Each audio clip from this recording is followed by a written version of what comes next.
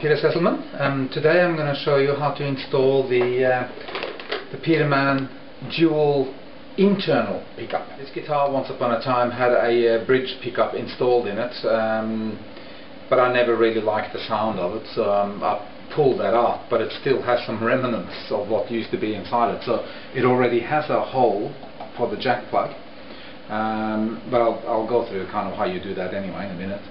Uh, and it, it, also has this really ugly equalizer thing sitting on the side here which I'm going to take out and I'm just going to put a little cover plate over it for the time being. Maybe one day when I'm feeling particularly enthusiastic I'll get some nice timber and, and fill that in but for now I'm just going to put a temporary cover plate on it.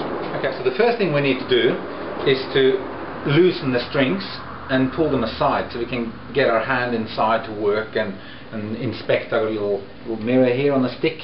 Um, any makeup mirror can do really if you can get in there and just have a bit of a look. Uh, classical guitars have more room inside to put your pickups. Um, they don't have the little pins that go through the body and poke out underneath, so you have more flexibility on where to place them. Um, I just find, for my taste, uh, I like them fairly close to the bridge, but inside. So I'm going to put one of the bass pickup right underneath here on the bass side and I'm going to put the treble pickup right there on the treble side. Then they're just going to go through here and I'm going to screw the plug in. This is a two minute installation so to loosen the strings first I'm using a string winder so here goes. Now to hold the strings aside um, while I'm working inside I'm going to just hold them with some masking tape. I'm going to put a little bit of tissue around the strings because I don't want the the glue from the masking tape to get stuck on the strings as I want to reuse these strings and just tape it over the edge like that. So now we can then get our mirror and we can do a bit of inspecting here. You can see, okay, this is what's going on in here, a couple of braces there. Do is just get rid of the rubbish which is inside there at the moment, that's that old pickup I was saying. So the pair of pliers or a spanner is going to loosen that check now.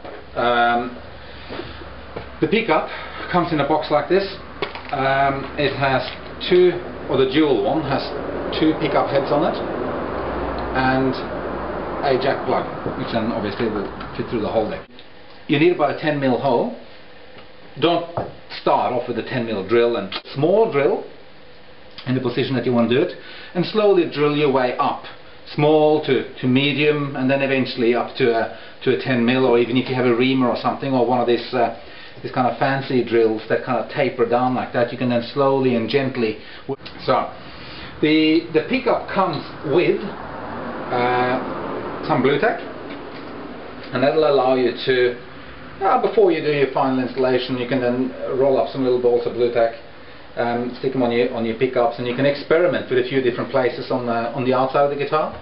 You can put the pickups here and there and everywhere and just see what what gives you the best sound out of that instrument some some guitars give off sounds in all different places um, I know things like archtop guitars for instance they give a lot of sound out of the back as well as the front so you know you might consider putting one pickup on the back and one at the front or that's really entirely up to you how you do it.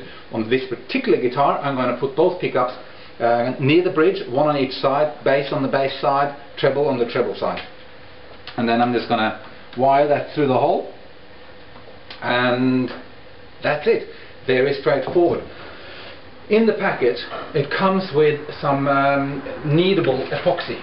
That's a bit of a packet over here. I don't know, um, different countries might have different packaging but this is a product by uh, Selleys in Australia or, or Araldite um, and it's a putty that you cut a little slice off and you knead it together for a few minutes till it's all nice and smooth and all the same color and it's very similar to the Blu-Tack, except after about five minutes this putty sets rock hard so when you're doing a permanent installation you can choose to use the, the kneadable putty um, to put your pickups in and they will be there permanently um, another alternative is to use a bit of heat glue, that works quite well too. That way, if you ever want to take the pickup back off again, with a little bit of a hot knife, you can slice it back off. Or you could even install it using the, the temporary Blu-Tack. Okay, here's a little trick for getting that jack plug through the hole and, and down to here. the long tapered handle. Take your your jack plug nut, drop it onto the stick, and then your jack plug washer, drop that on there. Then we poke it through the hole, then put your hand inside, find the, the brush handle and thread your jack plug onto it. Then gently pull this through till the thread comes through there. Slide your washer and, and nut up towards it. And then basically tighten her up. Like that.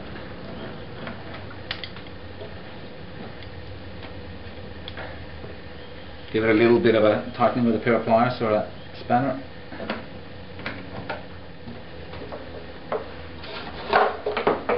Okay, so we now have the two pickups here. And the jack's now installed at the back there. So, next step now is to mix up the glue and glue them in situ. I um, I tend to practice a little bit before I actually go ahead to do it so I know where I'm heading. I can kind of feel feel inside the guitar and go okay that's where I want it to be so I've got a good feel for it. So you know, a couple of times take your hand in and out. I'm going to take my watch off for this. Hand in and out of the guitar and go to the spot where you want to put it because you don't want to be mucking around too much inside the guitar. So there's the one pickup.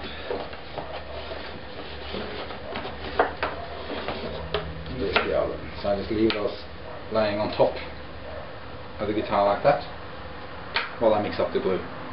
And the glue looks like this. It's kind of dark in the middle and lighter on the outside, it's like a lolly. So start kneading that between your fingers.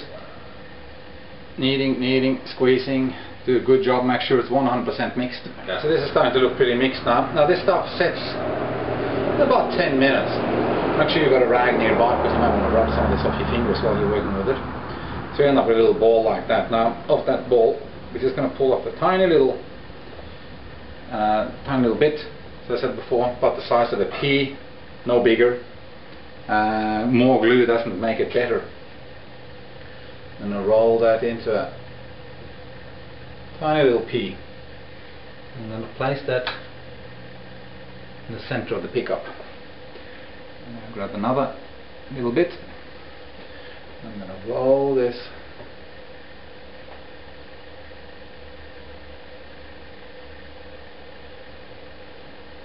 and place it in the center of the bass pickup, the second pickup. I'm going to wipe my hands a bit because I don't want to get too much of this stuff onto the guitar. And start with the treble pickup. My hand in here, try not to bump anything I'm not supposed to.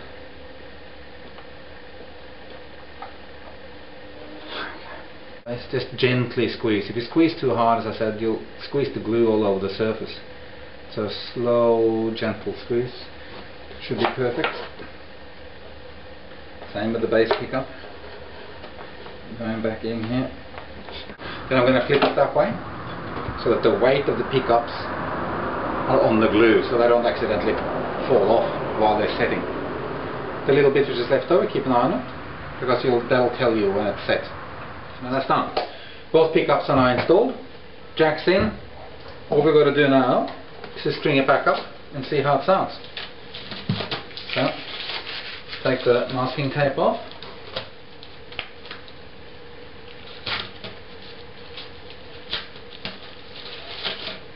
Like that.